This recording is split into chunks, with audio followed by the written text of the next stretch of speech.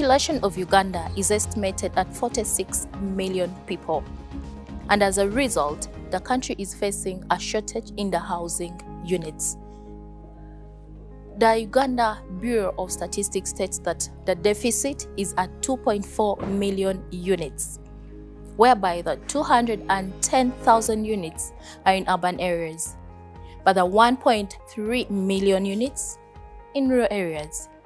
And it's also reported that about 900,000 units are substandard and therefore require replacement or upgrading. Today, in the Homes and Construction Affairs Show, we are going to look at condominium houses as a way to solve the problem of the housing deficit in the country. My name is Hilda Kamukama, and join me as we start the show.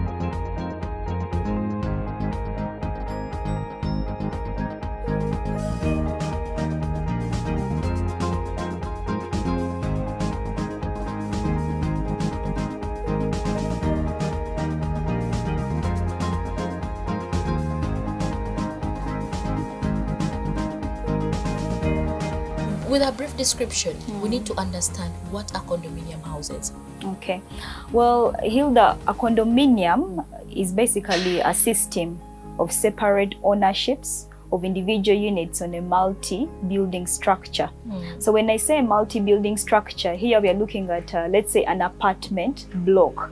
So on that apartment block, you have separate apartment units. Now, we need how it comes to be called a condominium is if there is actually ownership for those different apartment units. Hmm. And with ownership, it means you actually have a title hmm. of ownership that shows that you actually do own that that home hmm. or that apartment. In your own understanding, the way I have told you that uh, Uganda apparently Yeah. is facing a housing deficit, Okay, especially here in, in the urban areas. sure. Do you think that condominium houses come in as a solution to the problem that we're facing as a country now? Yes, totally. I really do think so because um, there is there is too much of you know housing deficit in Kampala. First of all, Kampala itself, yeah. So uh, if you look at um, condominium apartments on the market today, first of all, they are more affordable as compared to the bungalows, bungalow structures. So where you'd find a condominium apartment, let's say three bedroom apartment being sold at 250 million in a Kampala suburb, like let's say Kira, hmm. you find a bungalow, three bedroom bungalow being sold at even 400 million or above which very few Ugandans can actually afford. So 250, yes, we, we shall not say that it's still very affordable, okay, but at least it's more affordable compared to 400 million. So the number of people that can afford 250 million are more compared to those that can afford 400 million. So yes, they are more affordable. And also, uh, with this housing deficit that is coming up, most condominium apartments are giving, the developers are giving uh, the different owners payment plans. So you actually start paying at your own pace, slowly by slowly, in bits according to what you can afford. The mortgages uh, from banks are also more available today. So literally, they are more affordable. They're making housing and home ownership much easier for everyone in Uganda, which would definitely solve the housing deficit. So, who is eligible to have a condominium? Well, everyone, you, me, everyone out there that is watching us is eligible to get a condominium apartment. All you need to do is to uh, to check out your finances. Okay, so when you check out your finances and you see how much are they selling this condominium apartment at, can I afford it? What payment plan are they giving me? Is it viable for me? How am I going to be able to pay for this apartment? Am I going to use my own cash flows? Am I going to use a mortgage? Mm. Once you have finally done a very good self financial analysis, then you know if this condominium apartment is what is for you mm. or not. So, literally, all you have to do is to just do a good financial self analysis mm. and then you're good to go. Yes. With a financial analysis, here I will come with a question of affordability Yeah. because Mm. yeah, we we see uh, Mm. people coming together. They are living in the same uh, organized area. Yes. tentatively, let us talk about the costs. Mm. How much does one really need to part with to own Mm. A condominium? Let me say, Mm. okay, two bedrooms. two bedrooms. Now, if for the two bedroom apartment, like let's say for this project that we are uh, that we are at Mm. at the moment, Bella Rosa Homes, a two bedroom apartment here costs 200 million Uganda shillings. So just like I said, with a good financial self analysis, you have to uh, you look at the payment plan that we are giving you. If you bought it at this stage when it's ready for construction, definitely the payment plan will be shorter. Mm. So you, if you are giving you like let's say five months to pay up, so you have to check your finances. Do you have all that amount of money in your bank account, Mhm. or will you need to go and get a mortgage from the bank in order to support this, uh, to support you know paying up for this property, or do you have let's say a property that you want to sell off and then get those finances and invest in this condominium Mm. apartment. So basically, you have to look at the payment plan that we're giving you. Then, if you found Bella Rosa Homes years back when you were still constructing, you would have been so lucky to pay uh, to pay with a payment plan that is long enough for even as long as 24 months because uh, we usually give our clients a 24 months payment plan When Mm. you are starting construction. yes when you're starting construction so you're basically moving the whole journey 24 months, those are two years. yes two years So with a 200 million, Mm. 24 months, that means I'm depositing how much every month? Well, now that depends on still you as a Mm. person. Still, it goes back to your self financial analysis. We are very friendly people. We like to sit down with our clients and uh, come up with a payment plan that is friendly for you and Mm. friendly for us as well, so that we'd have you know a good business and a good relationship. Mm. So basically, what we do is we sit down with you and say, how much can you afford monthly? Are you going to be making? Uh, are you going to be making? You know. Uh, uh, amounts of money that are the same each Mm. and every month, or Or are you, you going to get a lump sum? A lump maybe sum. like 15 million at a go. exactly? Are you going to do that? Are you going to be on a reducing balance Mm. type of payment plan? So it basically comes back to you how much you can afford in monthly in those 24 months, as long as you keep your payment plan active. Mm. Yes. Now, what happens after that 24 months Mm. elapse when your client has not cleared to zero balance? Okay. So like I told you earlier, Hilda, we like to make a relationship with Yes, our true. clients. Yes. So what the 24 months have elapsed, you still have a balance. We can continue. We, Mm. we ask you how much more time do you need to pay for this apartment? If you tell us, let's say, uh, give me six more months, then we definitely do allow and we make it easier for you. If you think, let's say, you don't have enough money, then we can advise you to get, let's say, a mortgage from the bank because you have uh, an MOU Mm. uh, that we signed with most of these uh, Banks around. yes, that are around. So they, they would support you if you are if you are fit to get a mortgage. Mm. Yeah. So usually we advise our clients if you think you may need to get a mortgage right from the beginning, Mm. before you even start the whole process, go to the bank and find out if the bank can actually if you qualify for that For mortgage, mortgage. yeah, or not. If you feel like if they if you find out that you can't qualify and you don't think you'll be able to finish, you know, the the amount of money that you're asking you to pay for that apartment is more, Mm. then we definitely ask you maybe to get something cheaper Mm. or maybe to wait for some time so that it doesn't stress you and we also don't have to come running after you. Mm. Yes. Uh, so with the condominiums, because we really need to understand Yes. what are, what are the benefits really of Mm. condominiums over Mm. the normal houses that we've been having, Mm. owning, like constructing at your own pace. Mm. What what are the advantages? What are the advantages? I'll talk about the benefits of living in a condominium society. Uh, before I talk about the benefits of buying it when it's ready, Mhm. uh, besides construction. So, some of the benefits of living in a condominium society is that uh, security. Yeah. So, you find so many people feel more secure to live in a condominium society. Mm. Why? Because uh, usually most of the condominium societies have, uh, before you enter, they're Mm. gated communities. And before you enter that gate, there is a security guard. So, well, before someone even enters the society, the security guard will ask you to sign. Where are you going? Mm. Okay? So, literally, it's so hard for a thief to, you know, come, steal whatever they're stealing, and then And run then get out. Exactly. So, security is a very big issue for condominium societies. Another thing that is very advantageous about living in a condominium society is that you're living in a community.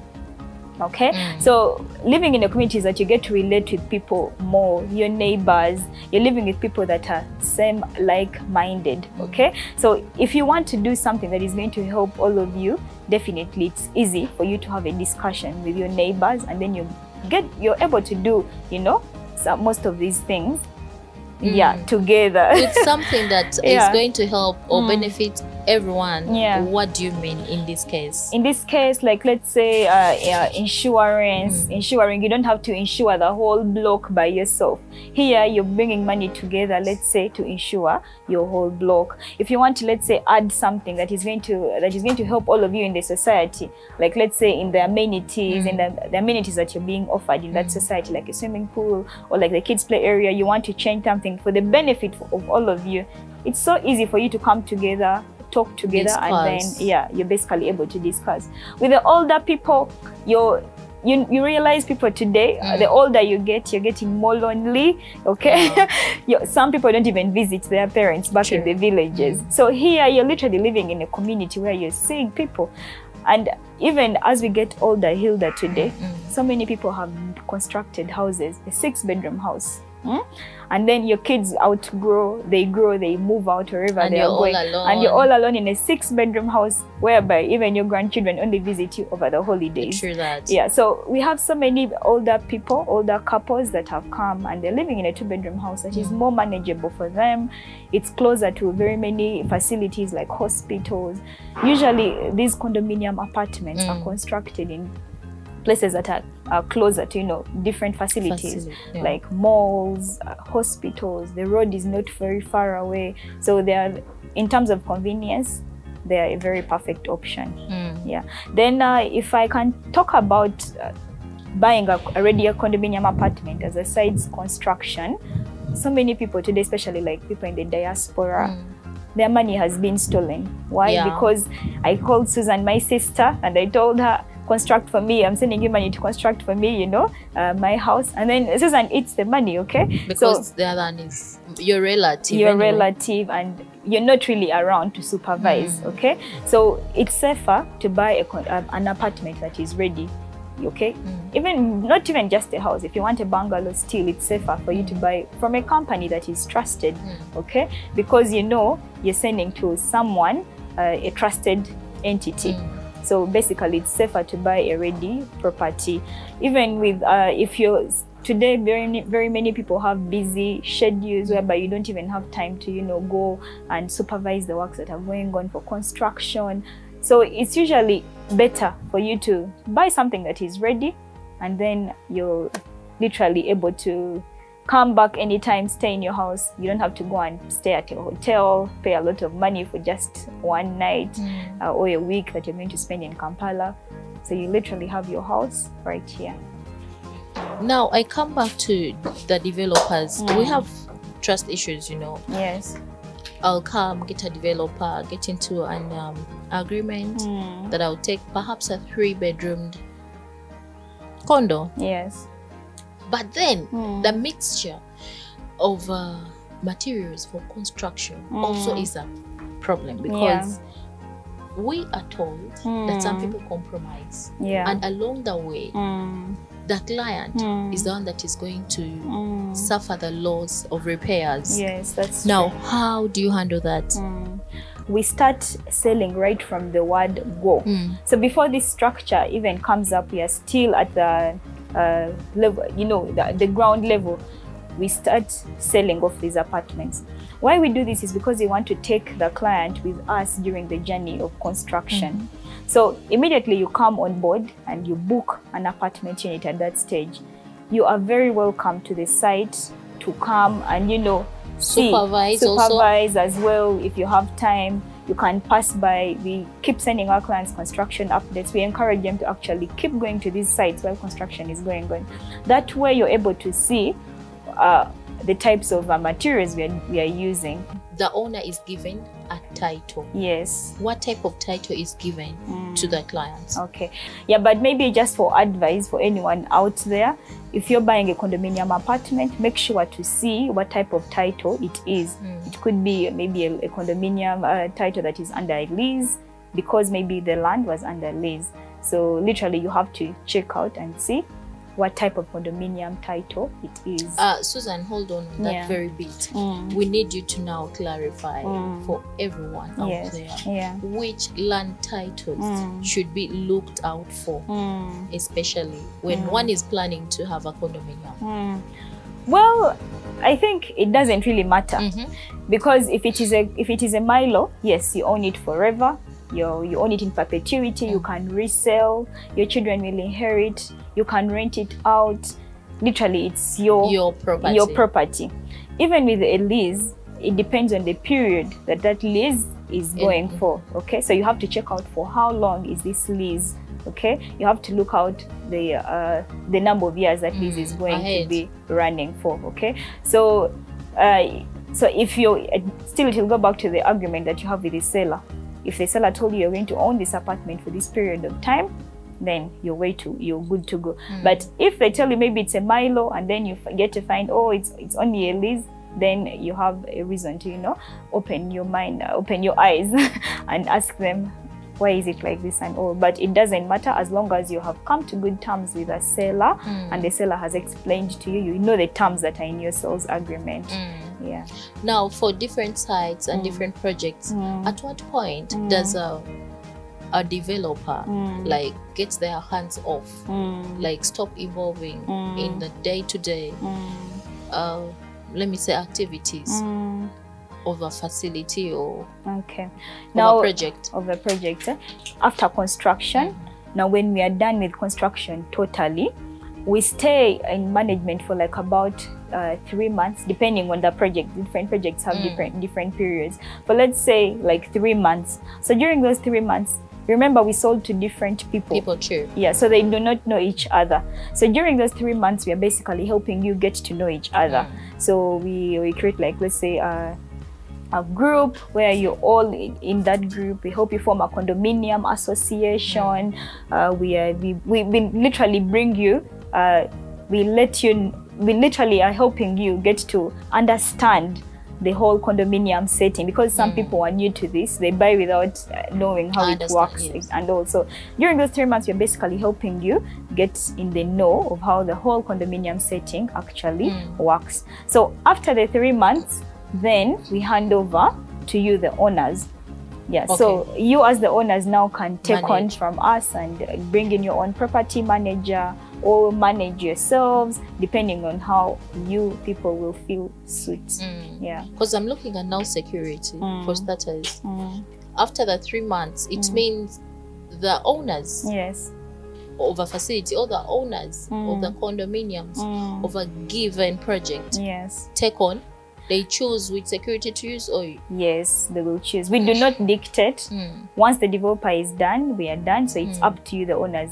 You form a condominium association Mhm. that will help you govern each other. So it will that condominium society has to uh, ensure you know comfortable living of each and every member of that society.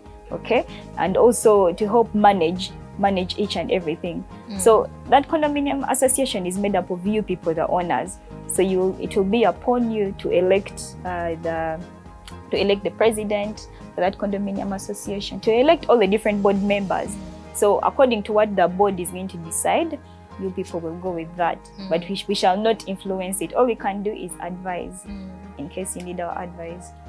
in an event where um, we have tear and wear issues, Yes. uh, for instance, maybe like uh, Mm. the plumbing issues, or maybe the tiles are just popping out, Yes. or maybe the bubbling of of walls. Yes. How does a condominium owner Mm. helped? Mm. Okay, from a developer by a a developer. developer. Okay. Well, if in case uh, something like that comes up, and we are, it's our fault that it is happening. Definitely, we have to come and fix it. Hmm. But if it has happened because of you, the owner, definitely that would be on you. You'd have to fix it. What do you mean by if Mm. it happens, Mm. or what falls under the category of when the owner is the one that uh, is the one that is in Mishandled, charge, mm. mishandled. Well, what falls in that category is if it is, let's say, a construction fault mm, or paint fault. Let's say if it's if it falls in our fault, if we did maybe something went wrong during the construction, that falls under the category of what we have to fix. Could you mind mentioning Mm. what could possibly go wrong when the construction is ongoing and then the effect is seen by a tenant By- while the Mm. oh, So let's say if let's say it's a plumbing issue, Okay. let's say plumbing issue which is our fault because sometimes some owners also they they you know flush things that are that are going to Of block course, the yeah. pipes. So that would be on the owner. If we now how for us we are able to manage that is that most of our properties have you know a duct. So in that duct we put the pipes outside the mm. block mm. so that we don't have to come and start banging. Mm. So the pipes are all outside so we literally just have to go and open, Open and then fix unblock. it and unblock it. Yeah but then that would still be because the owner the person staying in the occupant basically is the one that has done that but then if it is our fault maybe during the construction something went wrong then we definitely have to come and fix it if it is an electrical issue maybe some of the bulbs some of the lights are flickering maybe because of the uh, connection and Mm. all we have to come and fix it with our electrician. If let's say the paint maybe there is dampness somewhere sometimes dampness is caused uh, because of uh, different issues. That engineers know better okay? So because of those issues we definitely have to come with our engineer and we fix it okay? So basically that's uh, how I would, how we would deal with such issues. So with the condominium setups Mm. um is family limited? Mm. Well, with condominium setups, it um, it's basically comes down to you who is Mm. buying. What is your need for buying it? Mm. Are you buying it for your family to stay in? Are you buying it for rental purposes? So if if say you're buying it for your family, I would ask you, Hilda, how big is your family?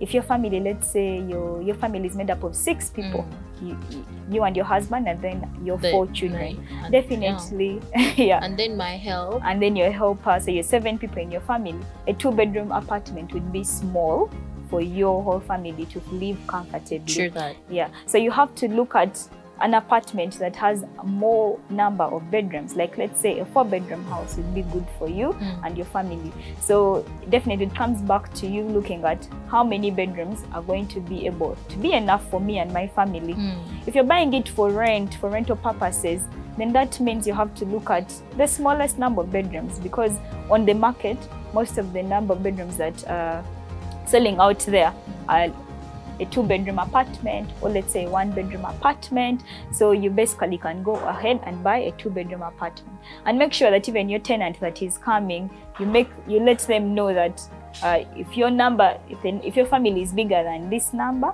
then maybe no.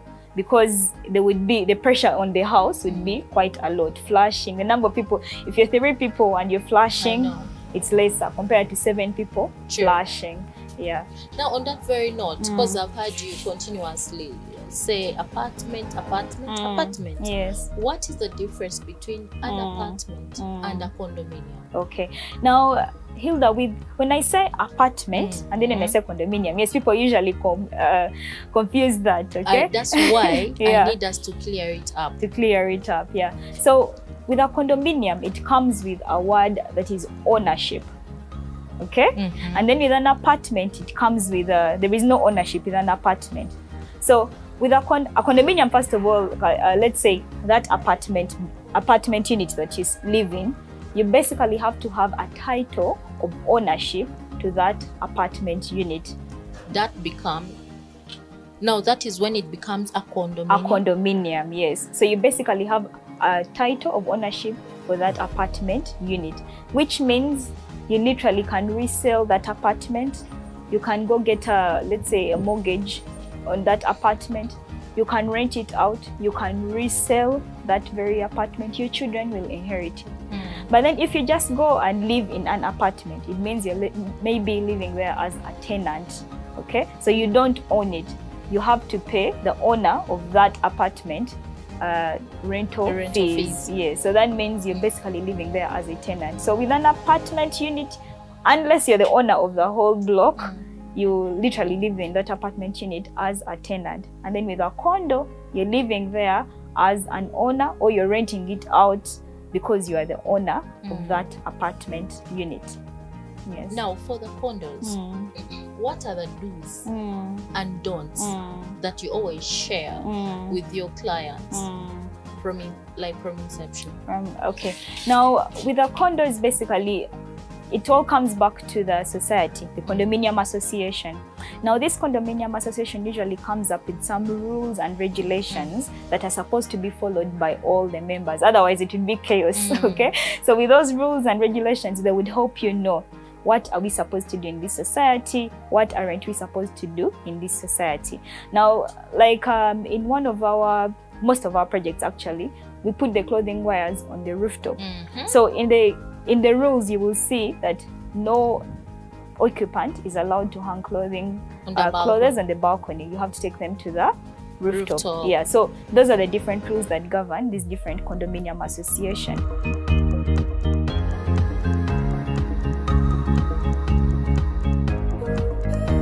Forget about the hectic processes that you go through to acquire a home. Have you thought of what you go through to get the land titles correct, the physical planning approved, getting the right engineers, the right designs? You can have all that solved by having a condominium house. You just pay at once. Remember, here you choose even where you want to be the location and you're going to have nice neighborhood with great amenities. Thank you for watching the Homes and Construction Show. My name is Hilda Kamukama, and from me and my entire crew, we say bye bye.